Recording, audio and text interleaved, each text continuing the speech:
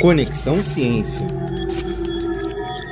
No segundo episódio do podcast Produções Afrofuturistas, o C2 traz uma lista com indicações de livros e autores para quem quer saber mais sobre o afrofuturismo, um conceito que aborda uma forma de pensar o futuro a partir de uma perspectiva negra da diáspora africana ou de uma pessoa africana, permitindo que a população negra possa ter uma perspectiva de futuro.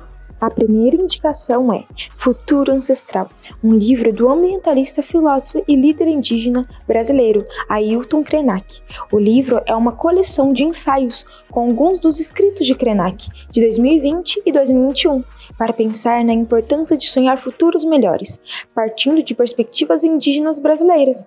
Foi publicado originalmente em português pela editora Companhia das Letras em 2022.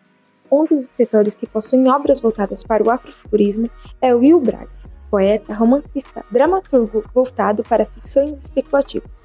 Ele também é pesquisador do afrofuturismo e seus desmembramentos, por meio do estudo de epistemologias, ritos e mitologias ancestrais de matrizes africanas.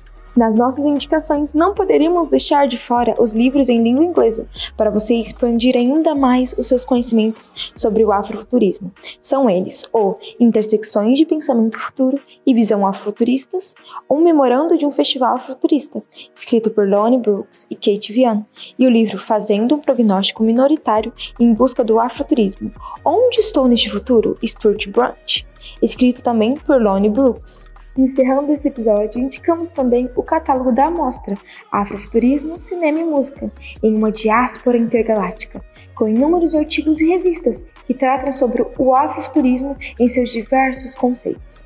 Com essas indicações já dá para ler e aprender muito sobre o afrofuturismo, né? No terceiro episódio do podcast Produções Afrofuturistas, o C2 separou a indicação de filmes e músicas sobre o conceito para aqueles que gostam de aprender vendo e ouvindo. Não deixe de conferir. Conexão Ciência.